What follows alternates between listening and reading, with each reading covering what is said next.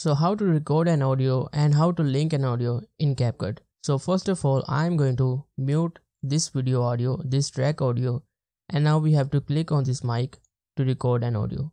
Now as you can see this is the dB of my audio and this is the volume. Now you can check this echo reduction and it will reduce the echo. You can also mute project so as you can see I also mute here and you can also check here. Now we can also change the input device as you can see. So I have two input, I have one input microphone and I have iron webcam.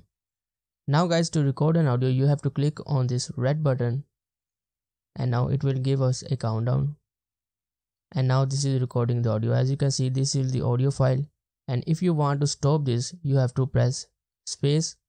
And now it is stopped. And if you want to record again then you can press space again.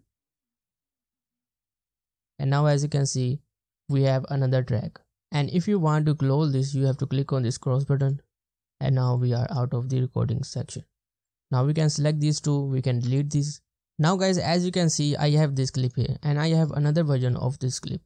So i'm going to link this audio to this clip. So first i'm going to right click and i'm going to separate this audio.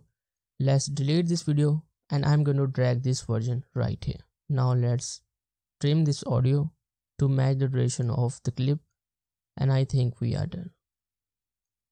Now guys, how we can link this audio to this video. So first of all, we have to select these two, right click and we have to make this a group. And now as you can see, these two are now linked. And now if I want to split my clip, so let's split this clip and I'm going to select this part. So now as you can see, it select both part. So how you can delete one clip? So we have to ungroup this and then we can select these two delete them and then we can group these together again. And now as you can see these two are now grouped. But we can also increase or decrease the duration of the video and the audio as well. And we have another method.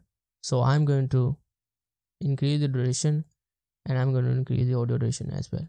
Now we can select these two and we can create a new compound clip. And now as you can see we have the audio file and we have the video so these are the two ways to link audio to your video